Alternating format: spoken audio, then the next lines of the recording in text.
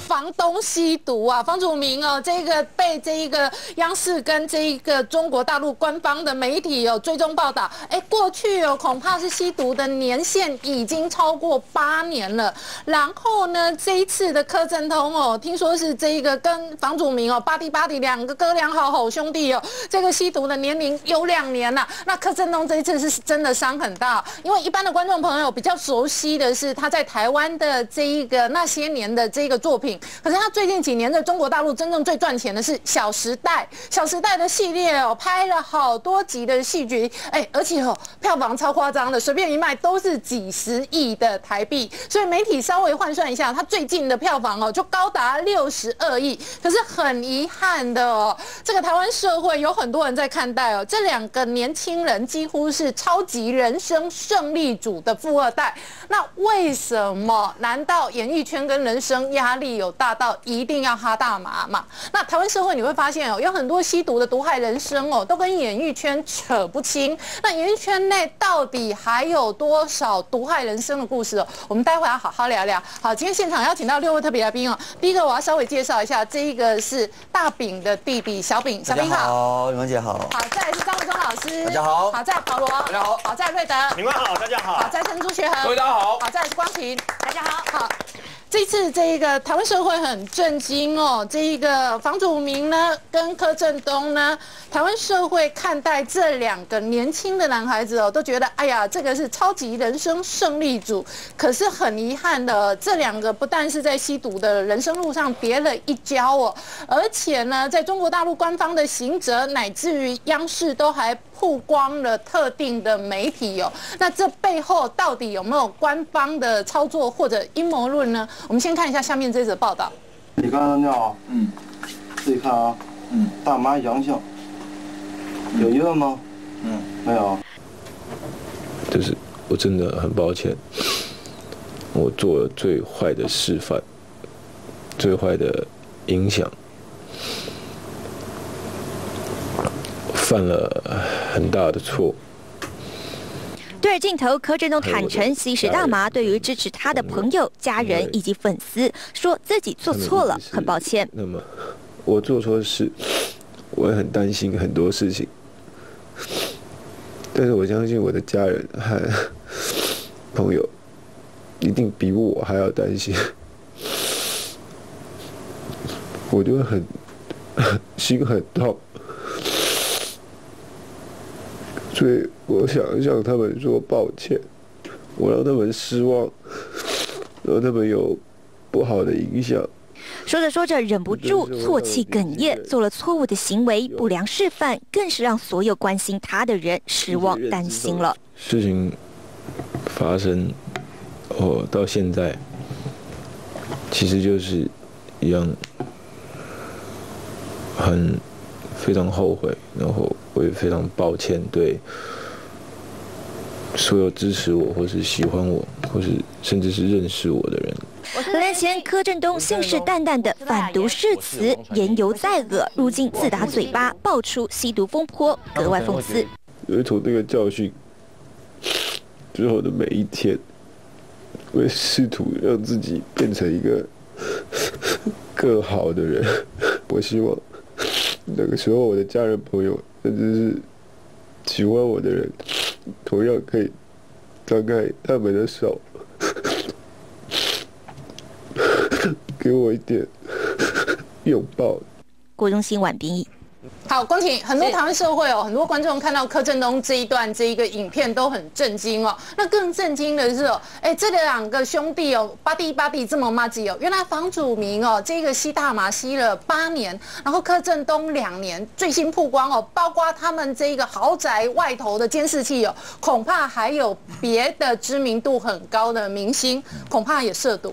对，这件事情发生在上个礼拜四，嗯那啊，中共的公安首先是盯上了。房祖名他的经纪人姓孙，然后一再的哈去跟踪，所以就破获了这个房祖名的毒窟。他的这个毒窟呢，是他爸爸成龙的这个房子。然后呢，在里面呢，当场哈以现行犯捕获这柯震东。那大家都知道，他有一段故事，就是他去上小便就忘了冲水，所以呢，呃。等柯震东出来就问他，那包括房祖名两人哈，他在房祖名的这个家里面，起初非常多的放在那个手机盒里面或者换上木盒子里面的这个所谓的大麻，然后是大概一百公克左右哈，还不到一百五十公克，他们这个最上限哈，就是说判处死刑的标准。那两个人都这个当场坦诚，那后来呢，这个消息呢一度哈。在网络上或者在这个路媒的这个网络上，呃，流传。那台湾的媒体还讲说，哎，这会不会是大陆的常常的有有一些这个八卦新闻呢？可能是个乌龙。结果柯震东也联系不到，他的经纪公司也装死，完全是没有办法哈。这个呃，由这个媒体来来查证清楚。那紧接着呢，后来就是消息证实了。那紧接着呢，就看看到这个柯震东痛哭流涕自白的这个影带。那现在也引发说，哎，你没有知会我们两岸协议的里面的我们台湾这一方，那以及说这是不是有点违反人权的做法？不过这就是中国大陆，他们尤其逮到这个名人艺人哈，绝对会有这段影片。那这个事件呢，而且它摆明了是官方刻意流传出来，然后这个流传出来的还是央视，央视要报道的这一个重点跟议题哦，绝对有指标性。对，就是像他们呃国家的中央台似的哦，然后。在这个消息哦一直不断的，因为这个柯震东的这个自白播出以后，台湾也震荡哈。就刚刚宁官讲的，哎，那那些年我们一起追的女孩，就捧红谁嘛？柯震东嘛，而且他还得过金马奖呢。然后在大陆发展，他的这个片子十月就要上档了。然后如果因为柯震东他被北京哈整个这个禁播。那他们这个经纪公司，还有包括他这个片商，他们要损失的金额真的是不可小觑了哈。那而且《小时代》现在票房超好，还在播哎。对，而且剧中有一个这个桥段，刚好是他也是变成小囚犯被捕的那个很激动那个画面嘛哈。那我们也看到今天最新的消息，哎，这个柯震东的爸爸被问到说，哎。我儿子啊，你们怎么会会这样问我呢？说他以前有没有？他就是第一次嘛，哈。然后那个成龙，包括他的这个呃这个太太林凤娇，就房祖名的妈妈，她看到他儿子怎么呃上铐的被捕的这个画面，非常的震惊。但是呢，成龙说这个就完全是柯震东，你不要把我儿子带坏。结果后来才这个知道。哎，你们家房祖名八年嘞，吸毒八年了。柯震东，你他的爸爸讲的说，哎，你怎么这样问我？反驳我们的媒体。哎呀，也不必，你也不太了解你儿子。他到房祖名那边去，好，他说第一次当房祖名拿出大麻，他非常这个震惊。但是因为两个 body body 太好了，所以他就吸了，他走上这个不归路，吸毒了两年。所以在这种情况之下，我们就看到震撼两岸三地。好，那问题是说。有没有这样因为了事哈？就刑责上面来讲，柯震东大概十四天的这样的一个拘役，他这个所谓的自白影带上面已经穿上黄色的这个所谓的囚服了，有一个东居了哈，已经是关到这个看守所去了。但是呢，这个房祖名这个部分大概三年以下了哈，因为他不是贩毒者，这么重，本来一度传出会被判死刑，但是他是因为容留哈。这个其他人哦，进行吸毒这个行为，而没有贩毒，而且他的那个所谓的那个大麻的量哈，还没有到五百五一百五十公克，所以现在今天的这个研判说大概三年，嗯，到四年或者三年以下，大概是这个刑期。哎，你要关到中国的那个苦牢里面去，那不得了，那很要命的。哇塞，那瑞德，这个台湾社会哦，看这两个，第一个，哎，觉得人生胜利组怎么会吸毒？对，第二个。这两个现在看起来毒瘾的年限都不短，柯震东哦比较短两年，房祖名八年哦，没有错。那毒贩你也见多了，这种长期的吸毒很难戒。对，没有错。我相信这个。大陆北京公安手上一定还有更多的艺人吸毒的名单，因为显然他是用那挤牙膏似的慢慢挤一些给你，而且呢，他应该是从上游的药头里面呢得到，因为上你要买一定有管道，大部分都是电话嘛，电话号码像这一次这个房祖名是透过他的孙姓助理嘛，对不对？我锁定你的助理，锁定谁，我就可以一像蚂蚱一样那个整个粽子一样一整串都出来啊，所以后面还有抓的蛋，因为他现在已经把进出房祖名豪宅的这些监视器，我相信包括通联记录都全部都掉了啊，所以呢。会不会要有更惊人的发展呢？我们就等着看吧啊！那除此之外，柯震东其实真的很可惜，为什么呢？昨天刚好是那一年我们一起追的女孩三周年上映的纪念哈，等于说他。红了三年，三年前的柯震东 Nobody 没有人知道是个素人啊，因为这出演这出电影呢，突然间大大红特红，然后呢，而且他每一年他的收入超过上亿元啊，这次的影响有多大？现在其实那一年是在台湾、香港红，但真正在中国大陆大红特红，让柯震东大红特红是《小时代》，现在已经三，其实四。小时代四》已经准备在春节的时候上映了，然后现在三还在演，而且下我打个岔，等于两年内拍了四集的对没有电错影哦，跟变形金刚哦也是搞四集一样哦，62可见《小时代》有多六十。二亿是上个礼拜的票，上上上上礼拜以以前的票房，现在已经冲到七十几亿了，而且啊十个代言就算了，还有十几支广告还没有拍，已经排到后面的广告。然后另外一部呃这呃那个朱学恒的好朋友拍的电影马上又要上映了。问题就在哪里呢？现在很糟糕的问题就在于，北京现在正在严打打贪打腐，所以打腐的部分就打艺人那个那个所谓的那个吸毒的问题嘛。所以由那个《后宫甄嬛传》里面那个甄嬛旁边那个姑姑锦汐有没有？对啊，代表四十二个经纪公司出来宣誓，永不录用。如果有吸毒的艺人，永不录用，然后不不签合同，然后也不安排任何的这个机会。告诉你什么？如果你一旦给我染上吸毒的话呢，在在大大陆你的市场就完蛋了。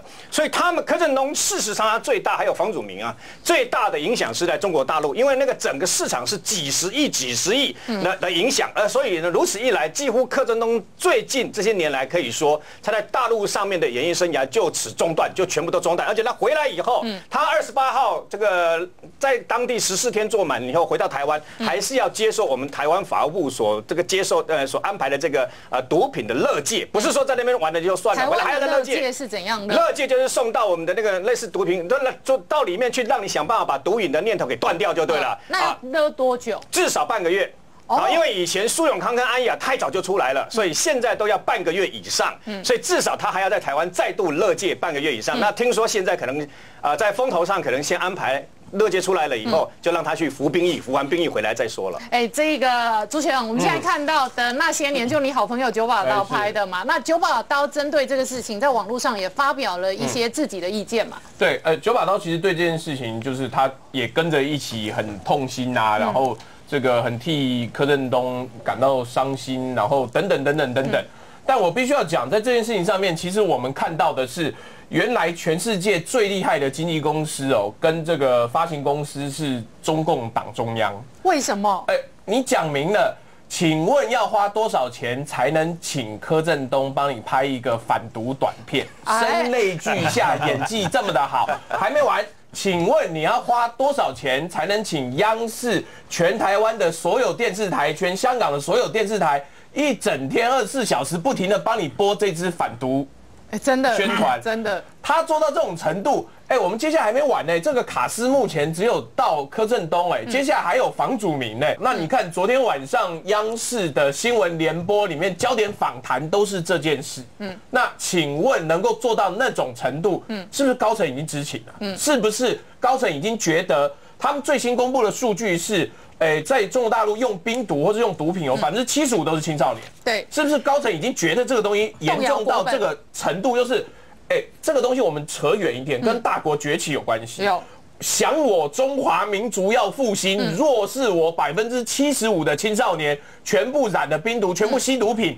哎，这跟当年林则徐发动这个清剿鸦鸦片片战争是一样的概念。那哎现在是习近平的鸦片战争吗？我本来以为习近平的战争哦，这个第一阶段只截止在周永康或者薄熙来这里的政治领域，耶。那现在是鸦片战争打到演艺圈了。没有看起来就是这样，而且为什么抓明星很简单，嗯示范效果大。对而且再来就是而让他且要让金童，要让待在天堂的人掉到地狱才会怕。